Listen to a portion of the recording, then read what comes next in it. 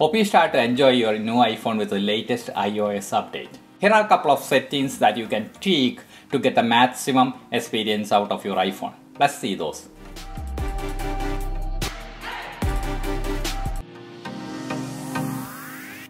With the recent updates, Apple bring back that battery percentage display right into the status bar. It was not available for iPhone 11 and mini versions before, but with the latest updates, Apple make it available almost all phones that can update to iOS 16.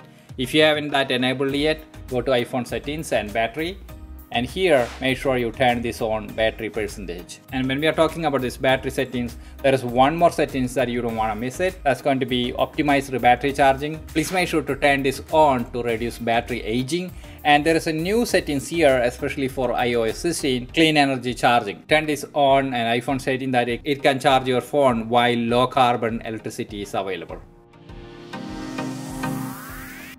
The weather notification comes handy if you are living in a place where you can get a snow or rain.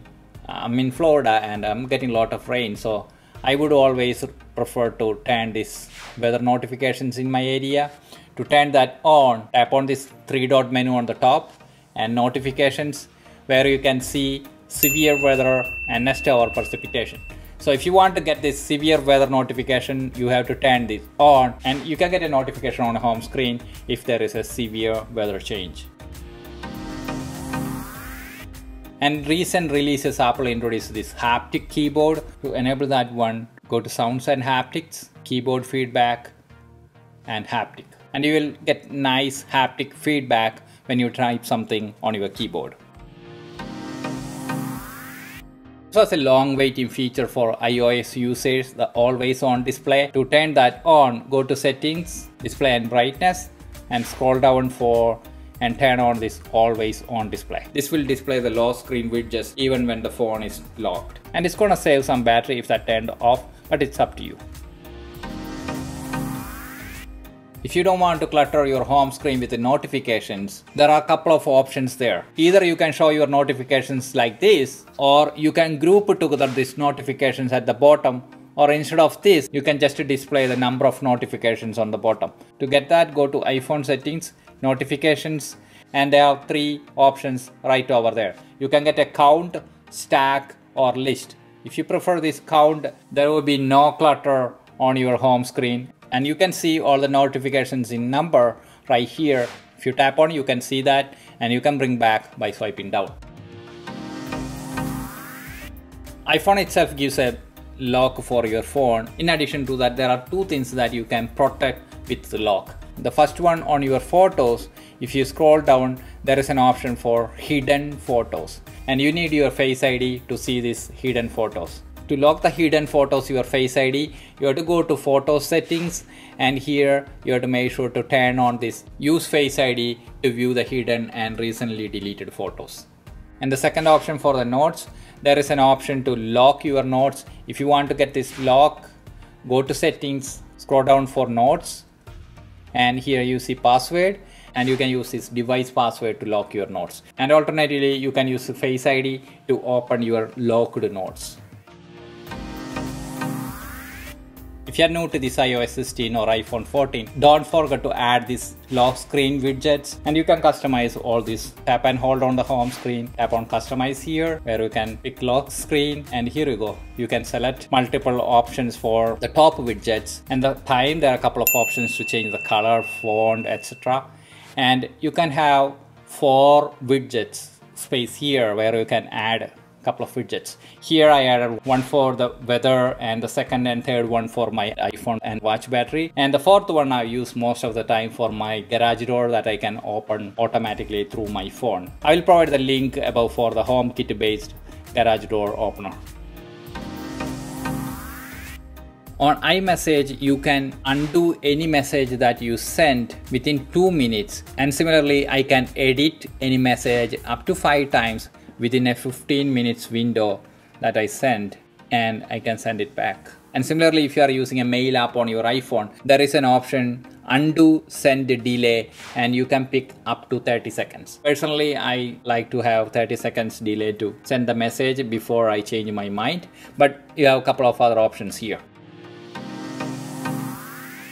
Apple is trying to improve the accuracy of the Face ID and there are a couple of additional options introduced over there. You can add an alternate appearance with your Face ID by set up an alternate appearance and you have to scan your face again. And in addition to that, there is an additional option for Face ID with the mask and also there is an option for add glasses. And if you want to set up your face with the glass you can do with this add glass option here. And this come to handy while you drive or when you read if you are using some glasses. You can set up your face id with the glasses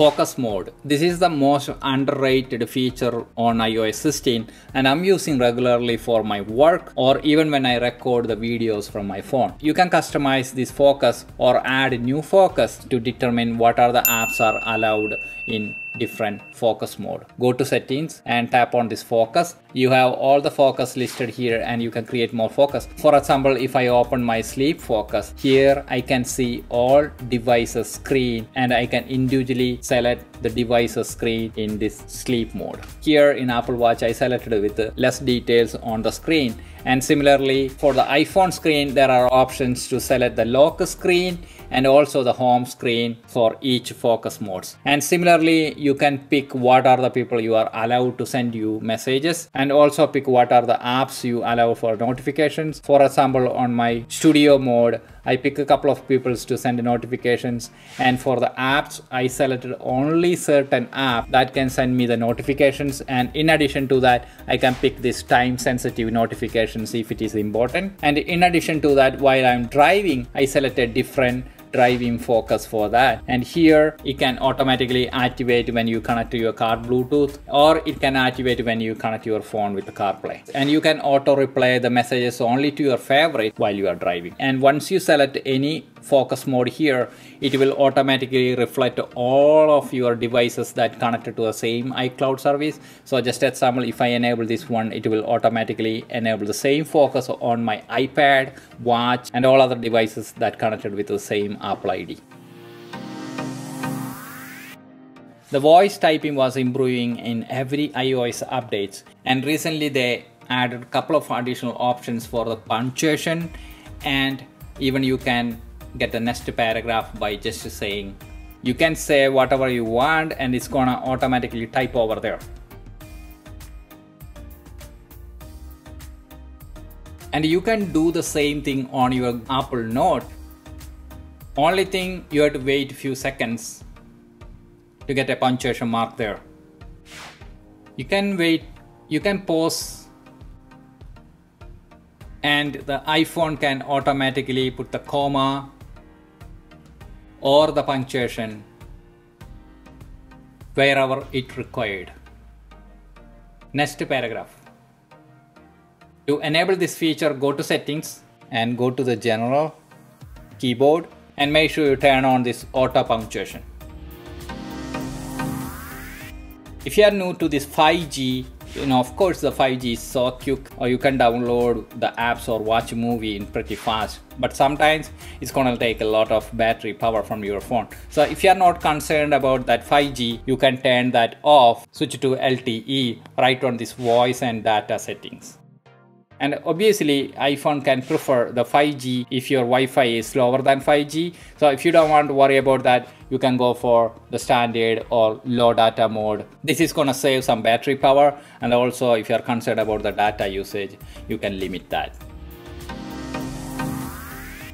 Apple will usually push the notification about any new updates. There is an option available on new iOS 16 for automatic updates where you can enable the security responses and system files and if you turn this on the Apple Rapid Security Response system files will automatically push into your devices and accessories and sometimes you may need to restart your system but this comes in a handy feature and you don't need to check all the time. Apple will do that automatically for you. And similarly you can enable or disable this download ios updates if you want to get this one automatically enabled on your phone. Thank you for watching this video. Hope you like all the tips that we shared here. And i know there are a couple of other tips that's going to be useful for you. If you are looking for any additional tips for ios 16 os you can check our link here. And if you have more tips you want to share please comment below. And meanwhile if you like this video don't forget to subscribe our channel. We'll see you in another video